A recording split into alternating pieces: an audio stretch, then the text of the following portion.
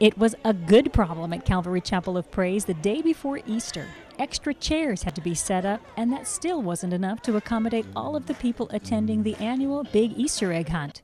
While nearly 6,000 eggs sat untouched outdoors, a packed sanctuary became a party like atmosphere because there was a lot worth celebrating. There were puppets and music and even a dancing dog.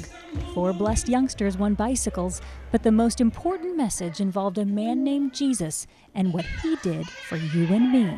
They hung him on a cross, and it wasn't a pretty sight. Jesus cried, It is finished, and breathed his last. And they and they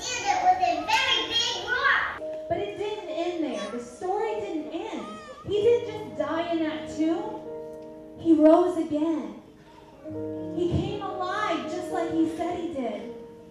And because he died and rose again, he took our punishment so that we could one day join him in heaven one day. Because he loves us. And all we have to do is ask him to come into our hearts and forgive us from our sins. Dozens of hands were raised as Sweeney led the crowd in a prayer of repentance.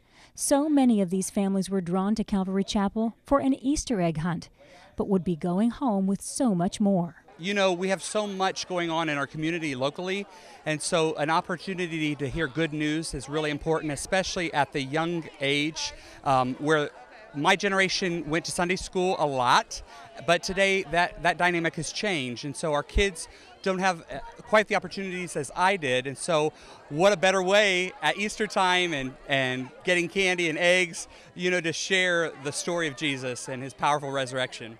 And then it was time to venture out into the sunshine and those thousands of eggs. In no time, the eggs were gone, gathered up by hundreds of kids on site. Next came special prizes and 500 sack lunches. What a glorious afternoon to share the resurrection truth of Jesus with the Lima community. We take our time to pray for every person that would come in. Um, we provide the opportunity to meet and greet with, with families that we wouldn't necessarily get the opportunity um, to come into the house of God and to meet people that are real, that uh, accept them, that are ex- eh, all inclusive.